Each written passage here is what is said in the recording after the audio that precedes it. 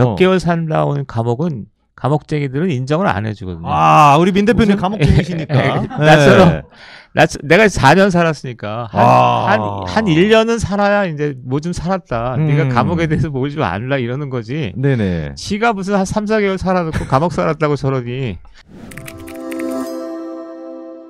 조국 대표 같은 경우는 1심과 2심에서 다 유죄 판결을 받은 상태입니다. 예, 예. 그때 이미 구속이 돼도 전혀 이상할 게 없었던 상황인데 이번에 김어준 씨의 유튜브에 나가가지고 아니 만약에 대법원 실형이 확정이 되면 어떻게 하겠냐라는 질문에 대해서 감옥에 가겠다 라고 당당하게 얘기하고 푸시업, 스쿼트, 플랭크라면서 건강 관리를 열심히 하고 나오겠다 이런 얘기 하거든요. 이 이게 양, 뭔 소리입니까? 이 양반 감옥에 일단 갔다 왔나? 그게 안 갔다. 왔죠, 아직까지. 그러니까 감옥에 어. 갔었는데 몇 아, 개월 살았거든. 맞아 산호맹 산호맹 몇 그때. 개월 살았니까 우리 감옥 세 감옥 에, 세계에서는 몇 어. 개월 살다 온 감옥은 감옥쟁이들은 인정을 안 해주거든요. 아 우리 민 대표님 무슨- 감옥쟁이시니까 예, 나처럼 네.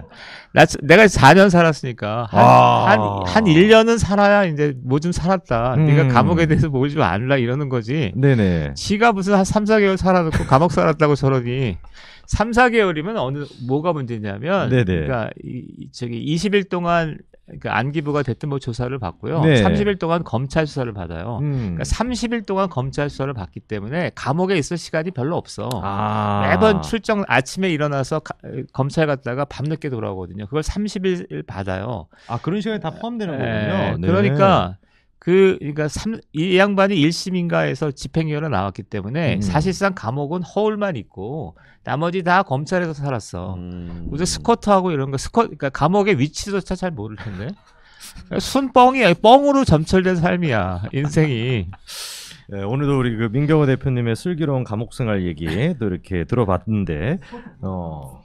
스쿼트는 그냥 앉, 앉아서 하는 거니까 언제 어디서나 할 수 있는데 네네. 그러니까 생활이 음. 한두 달 정도는 그러니까 정신이 없어요. 그러니까 어. 검찰 조사를 한 달간이나 받기 때문에 감옥에서 할 수 있는 일이 없어. 밥도 검찰에서 먹어. 아. 그러니까 감옥에 감옥 그것도 잘 몰라요. 적응하기 바쁘다니까. 어. 그러니까 토요일 일요일 날은 물론 놀지. 그러니까 스쿼트를 할 수는 있는데 이상 지금 이 말로는 감옥을 굉장히 열심히 많이 살았기 때문에 내가 다시 돌아가면 내가 옛날에 그 살던 감옥 생활을 다시 하겠다 이런 분위기인데 음. 이건 얘는 감옥 산게 아니라니까. 맞아요. 순뻥이다. 순뻥이라니까. 이 사람이 아는 영- 감옥에 대한 지식은 다 영화에서 본 거고요. 어. 거기서 그 그- 거기서 이제 주인공이 감옥에서 막, 팍- 막 이렇게 푸시업 하고 이러면서 체력을 길려서 복수하잖아. 네네. 주로 영화에서 본 거지 영화. 네, 그 생각하는 것 같아요.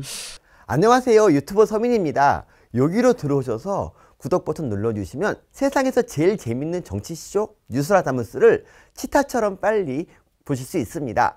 구독과 알림 부탁드립니다.